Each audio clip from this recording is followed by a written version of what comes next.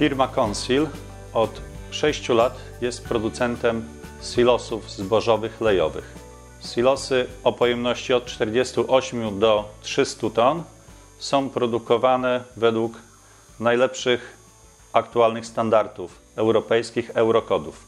Poza silosami do zboża firma Consil produkuje ekspedycyjne silosy do szybkiego rozładunku. Silosy te montowane są u rolników, w firmach, w młynach i w punktach skupu. Służą do przechowywania i przewietrzenia ziarna zbóż, rzepaku, kukurydzy lub innych nasion przeznaczonych do produkcji pasz i na sprzedaż.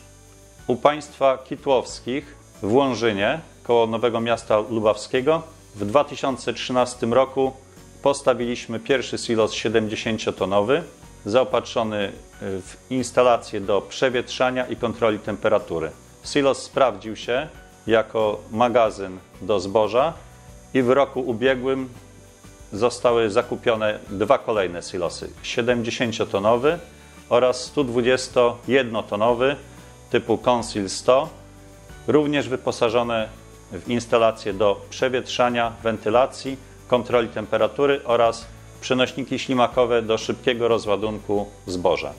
Silosy te stanowią podstawową część instalacji do przechowywania i pielęgnacji zboża w gospodarstwie z przeznaczeniem na produkcję pasz. Parametry, cenniki, dane techniczne i zdjęcia silosów lejowych Consil są osiągalne na stronie www.consil.pl. Także wysyłamy je za pośrednictwem poczty elektronicznej na żądany adres.